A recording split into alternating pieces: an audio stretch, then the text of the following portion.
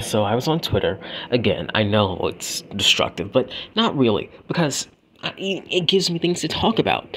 And um, okay, so I was on the the Ben 10 community and I saw something about people hating too much on the reboot, and I said that it, you know it's 100% justified because it is irredeemable, abysmal dog shit. Because you know Heat Blast sounds like he smokes. Um, you know, less so in, you know, UAF, but UAF is fucking awful anyways. But, you know, in the classic and Omniverse, Heat Blast has like a, you know, like he just has a raspy voice and I think they built like a filter on it or something, I don't know. But he sounds great, you know, the little like if you watch an episode, you'll hear like Diamond Head do a lot of clinking and stuff, and it's the little things that make them feel like aliens. You know, even though you know they all speak English and they're all usually humanoid, but that it's it's it's sauce. You know. So I foolishly kept, you know, staying on the community, looking through the posts, and I came across something that said, "Would Ben 10 beat Joker from Persona 5, the Persona 5 series. Sorry. And this this is something that, you know, again, has been brewing because, you know, my friend sent me the thing about the death battle and asked me who I thought would win. And I said that Giorno wins because Joker, does, well, one, Joker doesn't have, like, real powers. And I think you throw away your powers and all of the good endings. Um, but you know, I'm gonna humor you. I'm gonna do the thing where you assume that. Uh, do the thing where you assume that uh, what the fuck am I saying? Every what am I saying?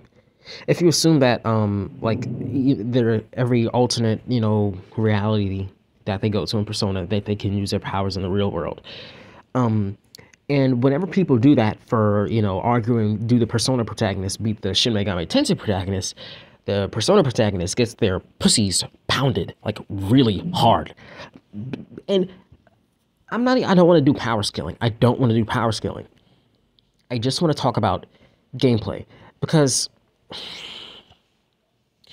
the strength of these characters is, and, and, this is something that I noticed while playing SMT5, and it and it bothered me because the cutscenes in that game were really fucking bad.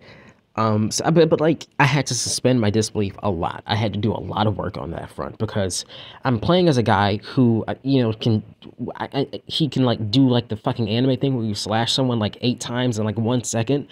But apparently, I'm just like jogging around the city. Like I, I don't like what the fuck what's going on. Um, so and like I know there's like a gameplay thing, and the thing is that for gameplay, it never really changes or evolves beyond doing the same shit you do all the time. So when you try to tell me, you try to argue that Joker is a reality warper, I'm gonna look you in the eye and I'm gonna stab you in the eye, you stupid fucking liar. Joker is not a reality warper. That bum ass that guy gets arrested in like two endings or whatever. Like he's a fucking loser.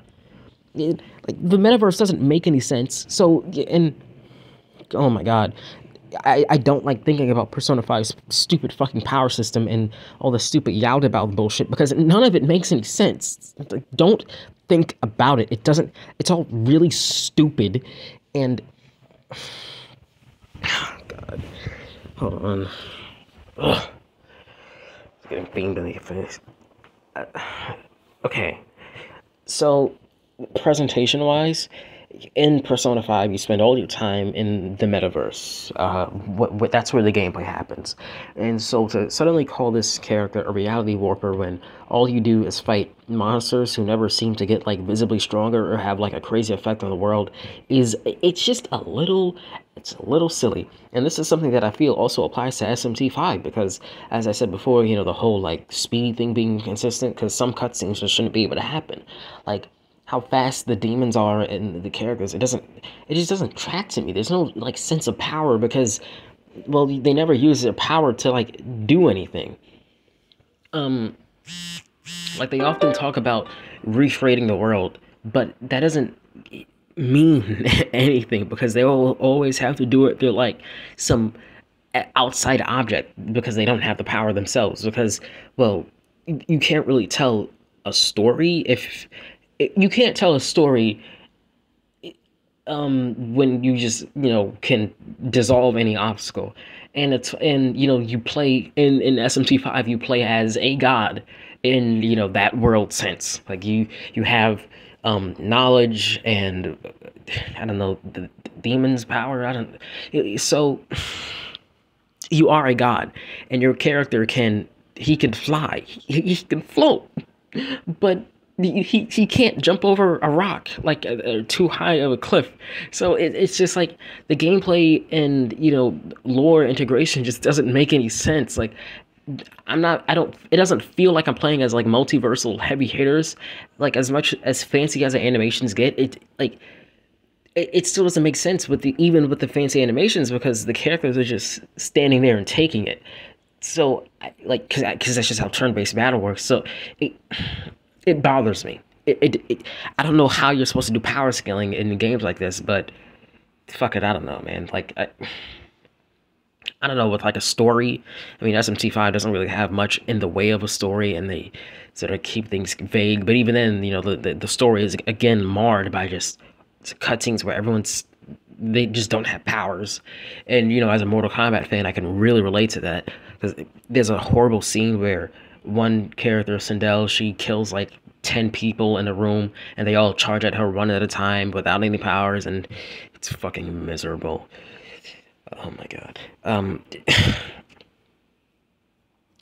Anyways, I just had to get this off my chest. No, I do not believe that Joker can beat Ben 10. You know what? You you want to know why? Because you know, even even outside of Alien X, I'm not convinced that Joker can beat Humongosaur because Humongosaur is a fucking dinosaur, and I, I don't know. Joker kind of struggles with fighting like Cerberus and, and just the random shadows like on his own.